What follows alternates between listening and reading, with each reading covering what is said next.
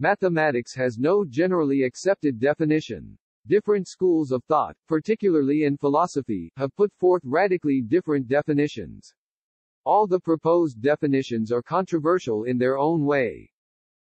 The following are definitions of math by some great minds in history. Pythagoras stated, all is number. Number rules the universe, said Plato, whose Platonism was and still is the dominant mathematical school of thought. His student Aristotle defined mathematics as the science of quantity, and this definition prevailed until the 18th century. Auguste Comte's definition tried to explain the role of mathematics in coordinating phenomena in all other fields. He just said the science of indirect measurement Benjamin Peirce defines math as the science that draws necessary conclusions. 1870 Benjamin Peirce According to Bertrand Russell, all mathematics is symbolic logic. According to L. E. J. Brouwer, the only possible mathematical foundation must be sought in this construction, with the obligation to carefully observe which constructions intuition allows and which do not. According to Arend Heyting, intuitionist mathematics is nothing more nor less than an investigation of the utmost limits which the intellect can attain in its self-unfolding. According to Haskell Curry mathematics is the science of formal systems.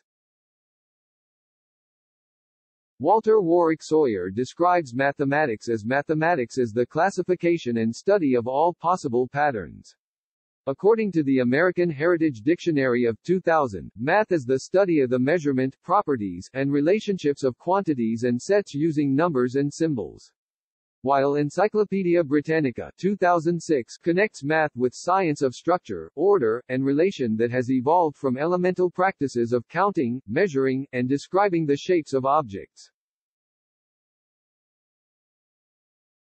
Many other attempts to characterize mathematics have led to humor or poetic prose. Charles Darwin said that a mathematician is a blind man in a dark room looking for a black cat that isn't there.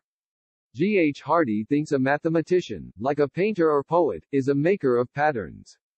If his patterns are more permanent than theirs, it is because they are made with ideas. Henri Poincaré proposed mathematics as the art of giving the same name to different things. Eugene Wigner said mathematics is the science of skillful operations, with concepts and rules invented just for this purpose. This purpose being the skillful operation. Mathematics is the alphabet with which God has written the universe, said Galileo Galilei. Please subscribe our channel for more amazing and informative videos.